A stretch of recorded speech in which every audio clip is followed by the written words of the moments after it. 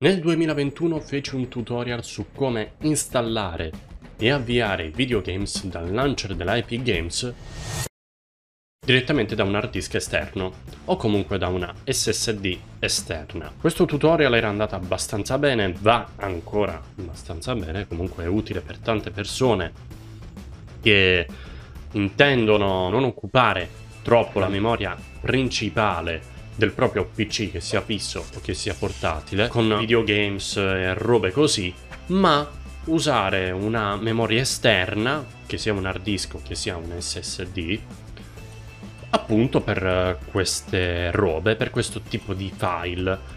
Quindi non occupare la memoria principale, ma un'altra memoria. In questo tutorial un utente mi ha chiesto di fare un tutorial riguardo il suo problema. Nel momento in cui finisce l'installazione del videogames che vuole installare nella sua SSD esterna o comunque nel suo disco D, tutti i file all'interno delle cartelle si danneggiano e automaticamente e nuovamente viene eseguita l'installazione di tutto quanto. Quindi, riscontrate dei problemi con file danneggiati o corrotti, siete venuti nel tutorial giusto.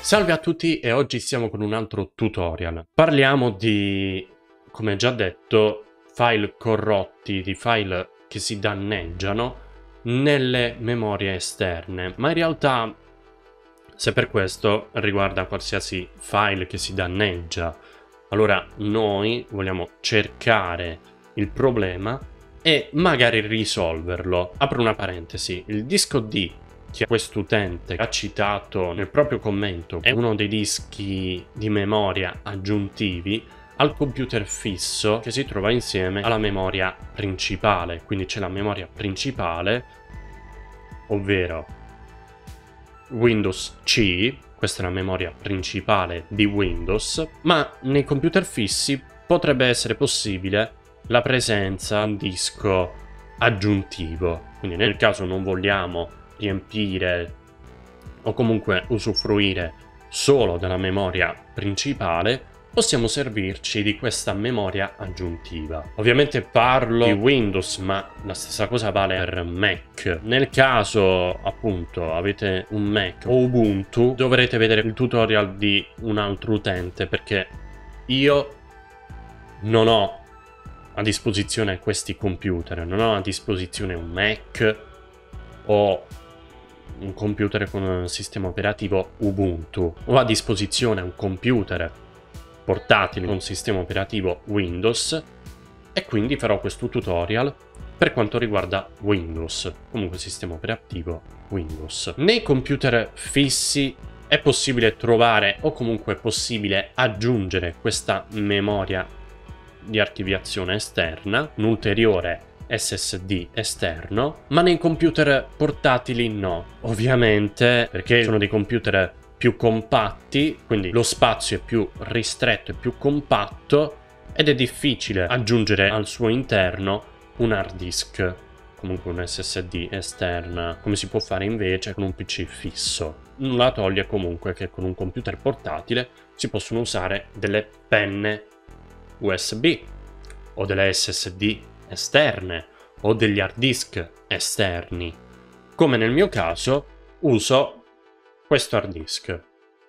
Questo è un SeaGAT. Tra l'altro è lo stesso che usai nel tutorial su come installare videogames in un hard disk esterno, particolari a parte, colleghiamo il nostro hard disk.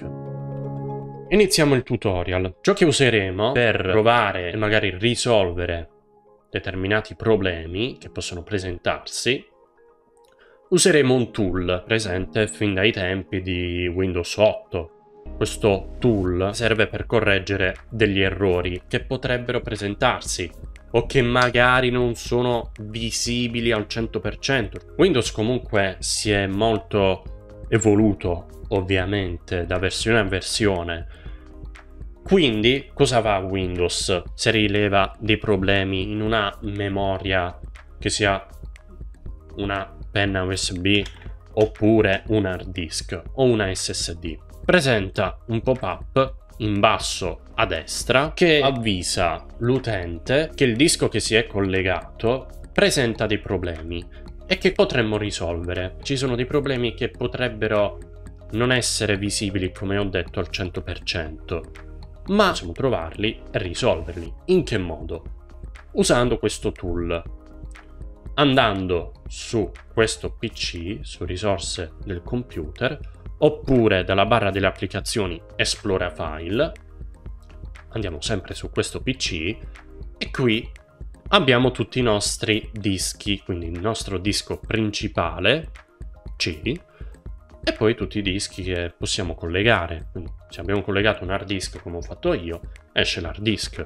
A meno che non ci siano dei problemi con uh, il collegamento dell'hard disk che magari non funziona, ma vabbè, quello è un altro problema apriamo le proprietà del disco che stiamo visualizzando, andiamo su strumenti nella sezione strumenti e qui si presentano ben due funzioni, il controllo errori e l'ottimizzazione defermentazione unità. Ciò che serve a noi in questo caso è il controllo errori. Questa opzione consente di individuare errori del file system nell'unità, quindi nel nostro hard disk. Clicchiamo su controlla qui avviamo l'analisi dell'unità. È possibile continuare a utilizzare l'unità durante l'analisi. Se vengono rilevati errori, sarà possibile decidere se correggerli. Stessa cosa, come vi ho detto, che può presentarsi sotto forma di pop-up in basso a destra della schermata del nostro PC. Avviamo l'analisi dell'unità. Il tempo delle analisi dipende molto dalla velocità del vostro disco dalla memoria di archiviazione e anche ovviamente dal numero di file che è presente nel nostro hard disk o comunque nel nostro disco. L'analisi dell'unità è stata completata, è giunta al termine e mi dice che non sono stati rilevati errori. Nel caso in cui si presentano degli errori, fate ciò che vi dice, che vi consiglia il computer e risolvete questi errori. Perché, come è accaduto per l'utente che mi ha scritto nei commenti la richiesta di fare un tutorial apposta su questo genere di problemi che può riguardare purtroppo file danneggiati o corrotti, se non si risolvono potrebbero magari peggiorare questi errori e quindi intaccare nei file e danneggiarli. Perciò risolvete seguendo i passaggi che vi consiglia Windows, che vi consiglia il computer, e avrete risolto tutti i vostri problemi.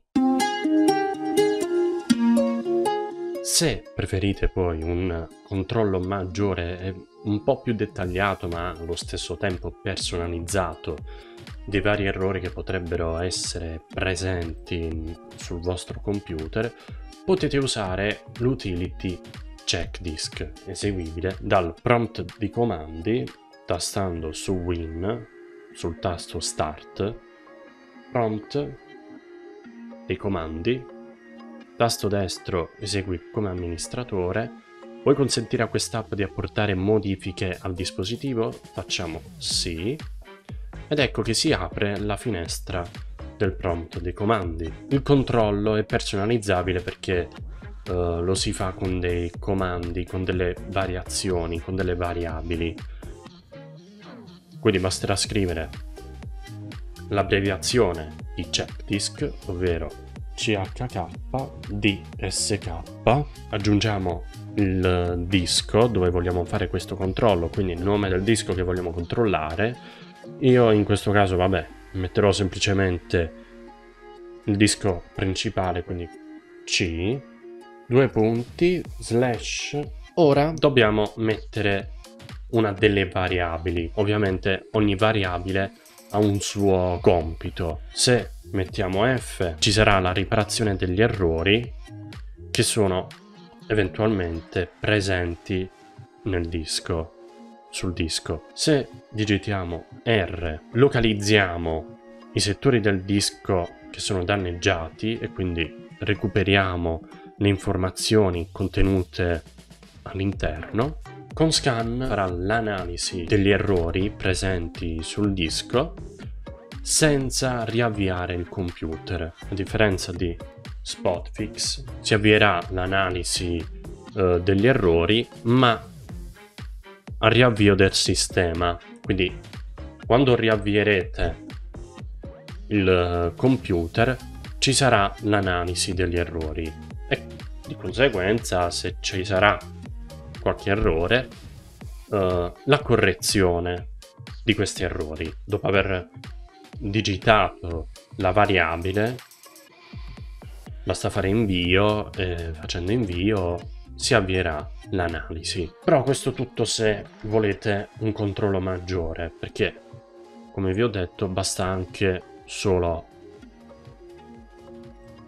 andare nelle proprietà da strumenti fare il controllo degli errori e ehm, già questo è sufficiente perché è molto efficace come funzione ho spiegato comunque un altro metodo nel caso appunto dovesse servire e si può fare la stessa cosa anche col prompt dei, com dei comandi nel caso non fosse abbastanza, potete cercare su internet dei tool scaricabili. Tre fra i più famosi sono Disk Drill, Mini Tool e Onyx. Disk Drill è disponibile sia per Windows che Mac, Mini Tool disponibile solo per Windows, mentre Onyx è disponibile solo per Mac. Questi sono programmi, tool che funzionano allo stesso modo del controllo errori che mette a disposizione Windows stesso, oltretutto è gratuito ed è molto efficace. Sarebbe un po' complicato che dopo tutti questi passaggi, dopo queste cose, dopo già questo passaggio, potreste riscontrare dei problemi, ma non si sa mai. Nel caso, internet vi mette a disposizione questi tool scaricabili. Come vi ho detto, io ho fatto questo tutorial usando un computer Windows con sistema operativo Windows perché non ho un computer Mac o comunque Ubuntu. Potete servirvi dell'articolo sempre di Salvatore Aranzulla e dall'indice, come potete vedere, c'è come correggere errori hard disk su Mac o su Ubuntu. Nel caso questo mio tutorial vi sia stato d'aiuto, condividetelo a tutti i vostri amici, mettete un bel mi piace, commentate nel caso aveste dei problemi, dei dubbi, qualsiasi cosa e iscrivetevi se non lo avete ancora fatto. Attivate la campanellina degli avvisi così da rimanere aggiornati su tutti i miei tutorial o su tutti i miei video che escono ogni lunedì e ogni venerdì. Noi intanto ci vediamo con i prossimi video o magari con un prossimo tutorial. Alla prossima!